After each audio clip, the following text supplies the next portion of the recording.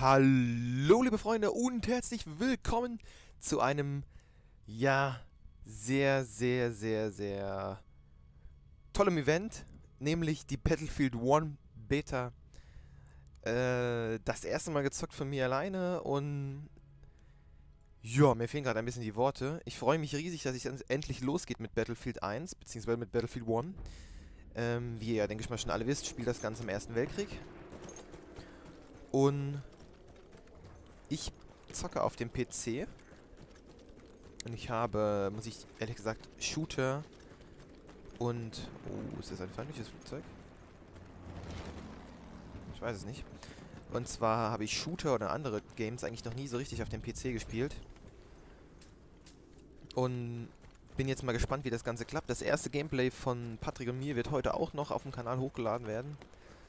Und ja, da habe ich schon die ersten Probleme. Und zwar ist es halt eine totale Umstellung von einem PS3-Controller zur Tastatur. Wenigstens habe ich ein bisschen Erfahrung mit der Tastatur, aber ich glaube, das war total doof, dass ich gerade zu E renne. Weil da nämlich der Spawnpunkt ist von den Briten, aber die Runde ist eh gleich zu Ende, so wie es aussieht. Äh, ich denke mal, wir werden dann in die nächste Runde auch noch mit reingehen. Und... Ja, was muss ich noch sagen? Ja, das letzte Gameplay von mir ist ewig lange her. Ich habe mal geschaut. Ich glaube, im April diesen Jahres war es eine Folge von... Hallo? Aber krass, dass man von hier schon einnehmen kann, also... Da bin ich, das finde ich gerade sehr interessant. Und zwar war das letzte von mir eine... F We have lost objective Charlie. Uh, bulululu. Wer, wie, wo, was? Eine die letzte, das letzte war eine Folge von The Long Dark im April. Und ich werde von irgendwo beschossen. Ich glaube, das war ein Flugzeug.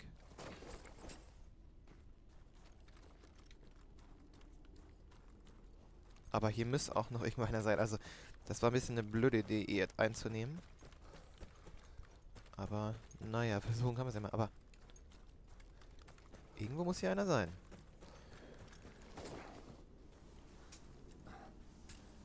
Verstecken wir uns mal ein bisschen.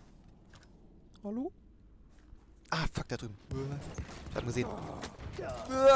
Ey, was? Gut. Ja, wie ihr seht, war das ein Flugzeug gewesen, das da gerade angegriffen hat. Ich muss echt sagen, die Beta ist ja jetzt erst seit ein paar Tagen raus, aber Flugzeuge flogen bin ich noch gar keins. Ich weiß auch gar nicht, wie die Steuerung ist. Ähm, weil ich ja eigentlich immer so ein, so ein kleines Flieger aus in Battlefield 1943, so wie in Battlefield 3 war mit den Jets.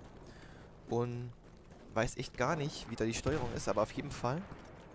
Man, überall, wo ich hier rauskomme, ist die Hölle los. Nee, der hat ein Geschütz.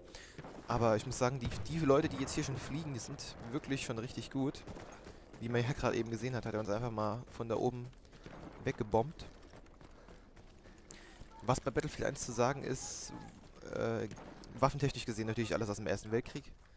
Und wie ihr hier sehen könnt, hat man gar kein, ähm, ja, gar kein Fahnenkreuz, wo man zielen kann, sondern man tut wirklich mit Kimmer und Korn zielen. Das macht das Ganze natürlich etwas schwierig. Ich überlege gerade, rennen wir oder rennen wir nicht? Ja, doch, wir rennen. Weil ich habe nämlich die Tastensteuerung auch ein bisschen verändert, weil ich nämlich die ganze Zeit auf Q-Sprinten gelegt hatte. Und... Fuck. Von hinten kommt ein Panzer. Tschüss, mach's gut. Oder haben wir hier irgendwas zu... Oh doch, wir können ja sogar den Panzer bekämpfen. Guck mal einen an. Ah, das sind aber jetzt zu viele Leute. Ey, das ist doch... Boah. Diese... Ich versuche ruhig zu bleiben.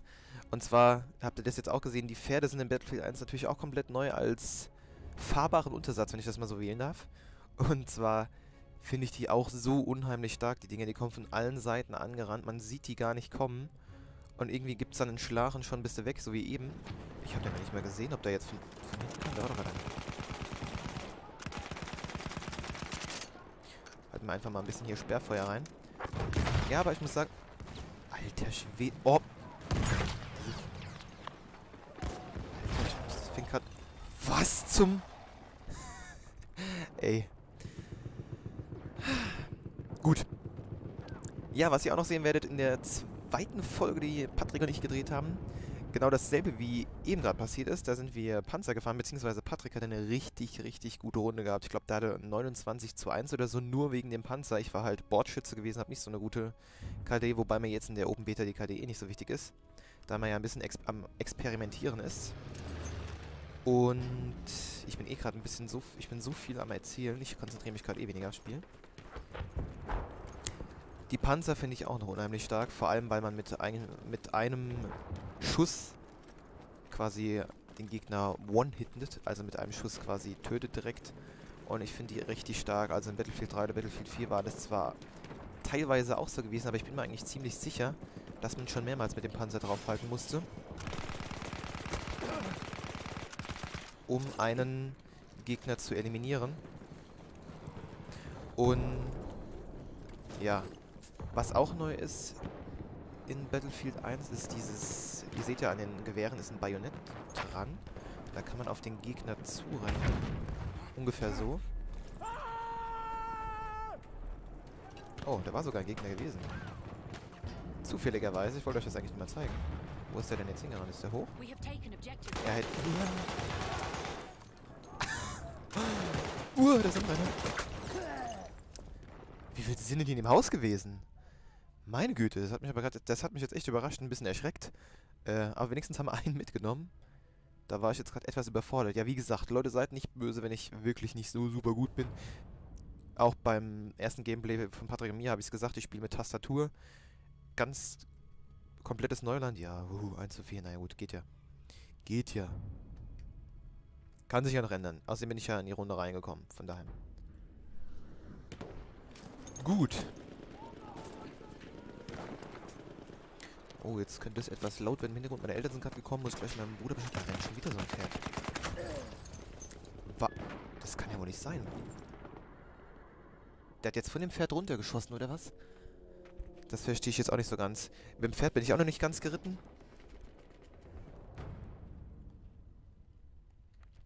Ja, mal sehen, wenn ihr Fragen habt oder sonstiges, schreibt es natürlich in die Kommentare rein. Ähm, was ihr hier auch schon sehen könnt, das Ganze ist... Oh, ich... Das ist jetzt nicht war, oder? Naja, jetzt habt ihr es gerade gesehen, dass der Panzer wirklich ein bisschen zu stark ist, finde ich. Also man kommt gerade erst... Äh, man spawnt gerade erst und wird direkt eliminiert. Naja, gut. Ähm, wie ihr seht, ist das Ganze noch in Englisch. Hier ist ja die Open Beta. Wenn Battlefield 1 natürlich richtig rauskommt, wird das Ganze natürlich, denke ich mal, auf Deutsch sein. Wobei das hier ja ganz gut ist, um mal ein bisschen Deutsch zu lernen. Äh, ein bisschen Englisch. Hä? Wo ist denn da jemand? Da war doch gerade jemand, oder? Siehst du, es geht auch so. Und ich bin gerade richtig froh, dass ich die Tastensteuerung geändert habe, weil ich habe wirklich Sprinten auf Q gehabt und es war so unnötig. Sag mal. Okay. Wir sind am Verlieren. Nö, ist gerade relativ ausgeglichen noch. Was hat der da gemacht? Muss man das verstehen? Nee. Kommt. Da unten ist es ein bisschen buggy, da hinten kommt ein Gegner. Wo rennt der jetzt? Oh, hier sind überall Sniper. Oh, ich renne gerade ein bisschen rum. Pferd. Über Gegner.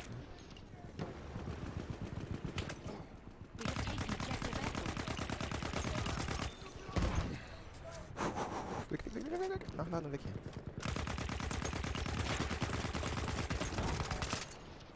Doch nicht. Was hält denn das Pferd aus?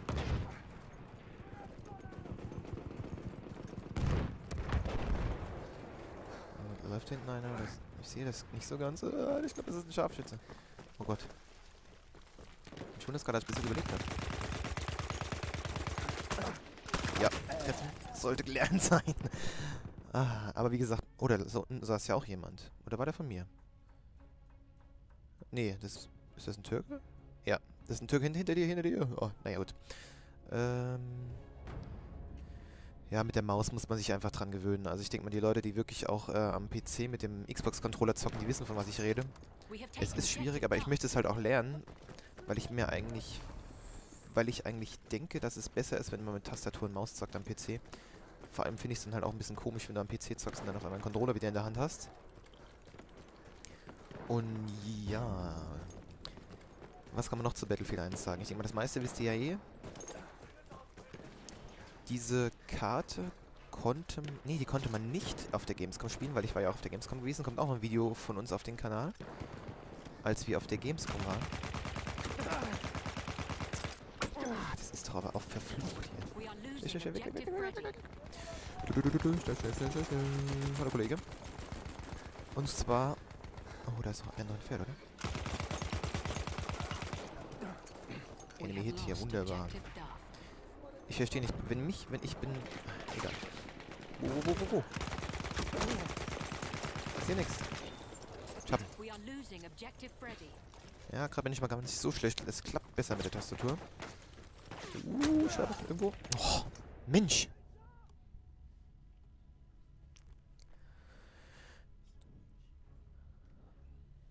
Aber es wird langsam. Bin ja auch gerade erst in die Runde reingekommen. Mein Bruder fragt gerade, warum ich so weit unten in der Tabelle stehe.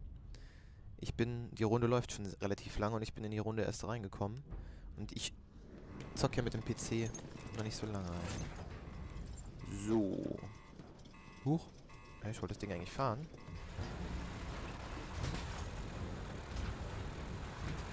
Ich habe gerade das Gefühl, dass es irgendwie ein bisschen backt und hängt. Oh je, oh je.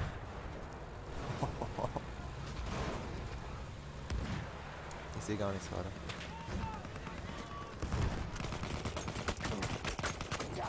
Hä? Ah, Das wäre eine schöne Überraschung gewesen, den noch zu treffen. Aber irgendwie... Ich verwunde das Pferd immer nur. Aber richtig getötet habe ich ein Pferd noch gar nicht. Bei den anderen ich, geht das immer so schnell, habe ich das Gefühl. Very Luck schreibt da einer. Gehen wir mal zu Objective Delta. Ich höre... Was ich aber zu Battlefield 1 noch sagen muss, ist, dass ich total überwältigt, überwältigt bin von der Grafik und auch vom Gameplay. Also genau das, was im Trailer gezeigt worden ist, ist auch wirklich letztendlich im Spiel gelandet. Und da muss man an dieser Stelle einfach mal EA loben, dass es die ersten Tage ja nicht geklappt hat mit der Beta. Hat ja nur den Grund gehabt, dass ja die Server gehackt worden sind, was ich jetzt auch erst im Nachhinein herausgefunden habe. Irgendwo wird geschossen. Ist der hier im Haus? Tatsächlich.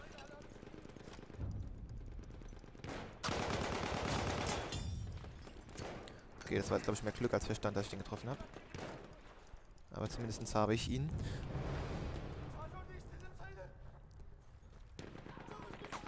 Und, ah, hier sieht man es auch ganz gut, dass sich auch die Häuser mit der Zeit, wie auch in den anderen Battlefield-Teilen, zerstören lassen.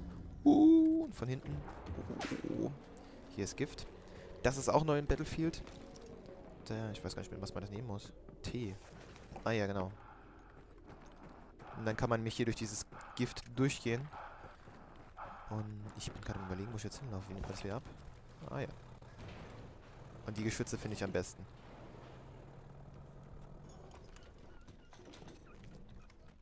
We have lost objective Freddy.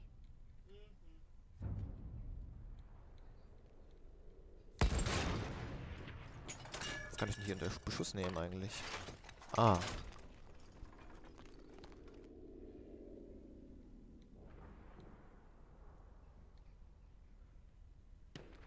Ah, sollen wir mal ein bisschen warten?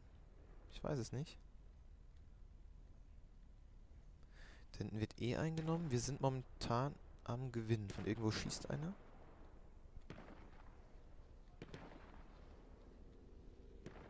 Oh, hinter mir ist jemand gestorben.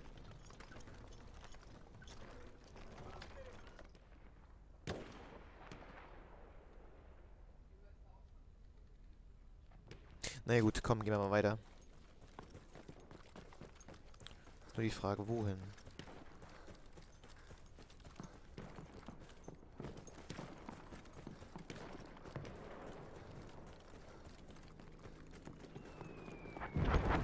Train Station. Oh, ich finde die Flieger einfach genial.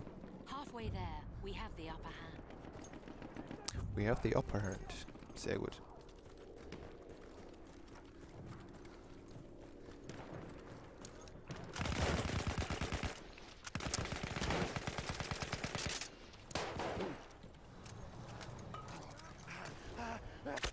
Alter. Ist das so ernst?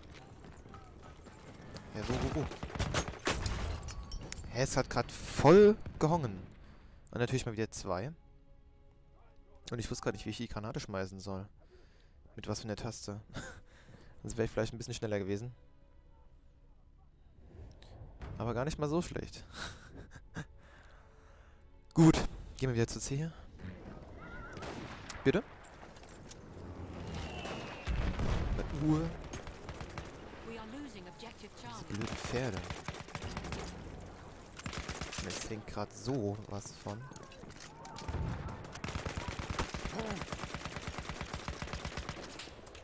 Ah, Es hängt so, es hängt so, es hängt so. Warum hängt das denn gerade? Ich glaube, das ist wegen dem Aufnahmeprogramm. Ja, natürlich. Und ein Panzer. Ah, es ist ja mal wieder klar. Killed by Light Tank.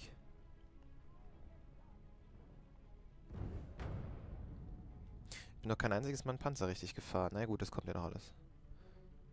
Da rennen die ganzen rennen zwei Pferde. Ich baue mal bei A. Ach so, das sind wir. Och, nö, oder? Aber A wird eingenommen von irgendwas. Und bitte nicht von einem Panzer. We have taken objective George.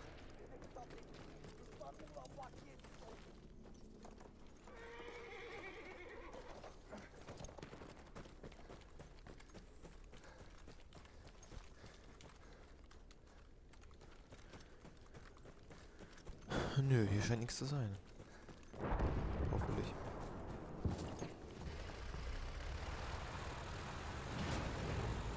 Oh, der Sandsturm zieht auf, habe ich das Gefühl. Das haben sie auch von Battlefield 4 übernommen. Beziehungsweise generell verbessert. Die Wetteränderung. Aber irgendwie macht das gerade sowas von. Oh Gott, die sind alle da hinten. Das war eine blöde Idee. Oh, das hängt gerade so.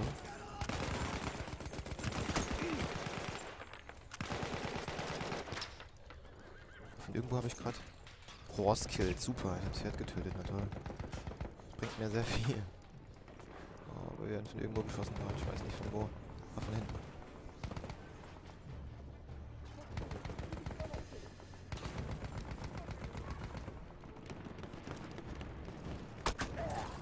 Hä? Ah, Wenn man sich mal in einen anschleichen will, kommt natürlich der Schuss wieder hinten aus dem Haus von irgendwo.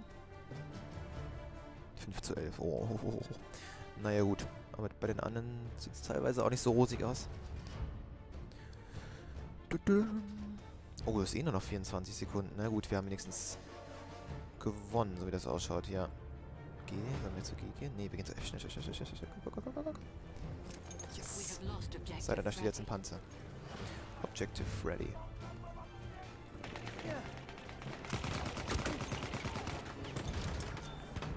Was? Ich habe ihn sogar bekommen. Ich fasse es ja nicht. Und er springt auf den Stein. Gut. Wenigstens haben wir gewonnen. Ich habe sogar noch einen letzten erwischt mit der Granate. Das hat ja mal einmal gut geklappt jetzt. Handgun Kills, Trigger Happy, High Score, Speed Scorer, Kills per Death. KD-Ratio, okay. Auf welchem Platz? Naja gut, Platz, sind wir? 25 von 49 ist die Hälfte. Dafür, dass wir in die Runde reingekommen sind, gar nicht mal so schlecht. Naja, 6 zu 12. Ist natürlich nicht so super doll. Aber für die, ich glaube, es ist jetzt wirklich erst meine vierte, fünfte Runde Battlefield mit der Tastatur. Gar nicht mal so schlecht. Ich bedanke mich fürs Zusehen. Vielen Dank, dass ihr dabei wart. Hoffe, dass ihr bei den nächsten Folgen auch dabei seid. Und wenn ihr Fragen oder andere Anregungen habt, schreibt es in die Kommentare.